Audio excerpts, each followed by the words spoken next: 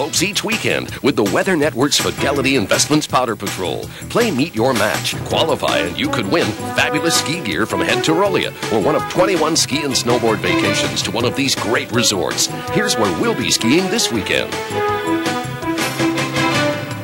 The Weather Network's Fidelity Investments Powder Patrol, brought to you by Fidelity Investments, where 15 million investors put their trust. And Land Rover, you can do anything. See you on the slopes.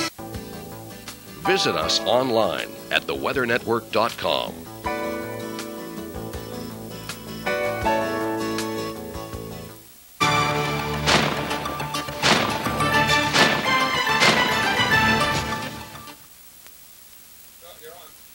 I'm Ashanor Hassan, and this is Weekend Report News for Saturday, March 25th.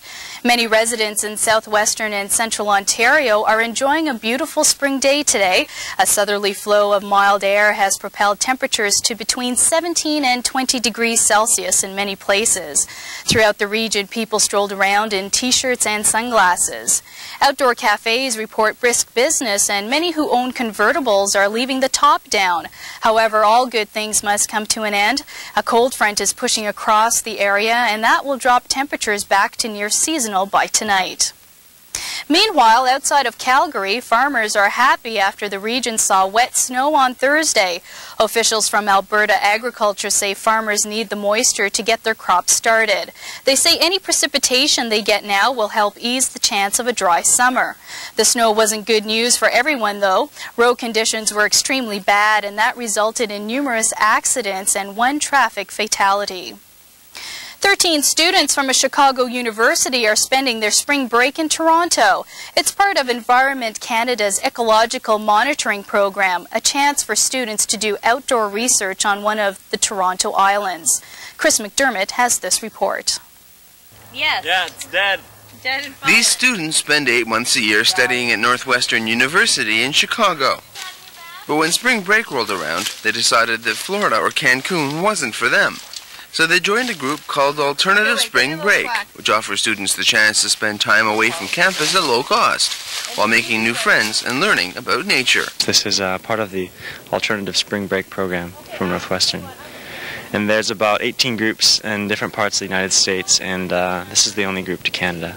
It all started when a representative contacted Environment Canada, looking for the opportunity for students to study nature. Here, they study trees. The goal is to identify, measure, and tag every tree in a one hectare forest plot on Ward Island, south of downtown Toronto. What we're trying to collect is baseline information on the types of trees that are growing here, the types of shrubs, the types of ground vegetation. They're working in cooperation with the Smithsonian Institute and a UNESCO biodiversity program.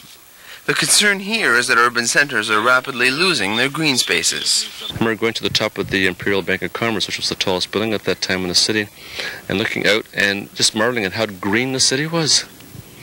And uh, if you go to the top of the CN Tower now and look out, there's definitely uh, a vast difference. Trips that have have meaning both in terms of helping, like uh, during the week, and also having meaning on a, on a greater level. And I think that's been really effective in this case. The Smithsonian hopes to increase the monitoring network, helping to establish the largest grouping of biodiversity monitoring plots in the world. For the Weather Network, I'm Chris McDermott in Toronto. over here. Wait, Yeah. South of the border, unusually dry weather and a lack of power lines in New Mexico have resulted in the state's largest outage ever. Smoke from a recent grass fire triggered a short circuit that shut down all three transmission lines feeding Albuquerque and surrounding areas. In all, 1.6 million people were left in the dark. The lack of rain has also sparked dozens of wildfires, charring more than 75,000 hectares of land. Overseas, a cargo plane crashed during a heavy rainstorm in Colombo, Sri Lanka, killing six crew members and three others on the ground. Two others on board the Russian-built plane are in serious condition in hospital. Nearby residents say they felt the ground shake when the crash occurred. The plane was carrying textiles from Thailand. At least two people are dead and 50 families are homeless after torrential rains caused rivers to overflow in eastern Colombia. The floods also triggered mudslides which swept through towns and villages, leaving a trail of destruction. Homes were engulfed in thick sludge while cars and trucks disappeared in the mud. Now that the rains have mostly stopped in Mozambique, the difficult task of rebuilding begins. The flood swept away homes uh, or livelihoods of one in ten people. Crops in fertile river valleys in central and southern parts of the country are destroyed. The bill for emergency aid for just the coming six months has been estimated at $165 million. And finally, there's a trade-off taking place at NASA. The space agency says it will make a controlled descent of its Compton Gamma Ray Observatory into the Pacific Ocean on June 3rd. The reason is because of faulty stabilizing gyroscopes in the nine-year-old spacecraft. And that's a look at the news for this half hour. I'll have more in 25 minutes time. Now here's your local forecast.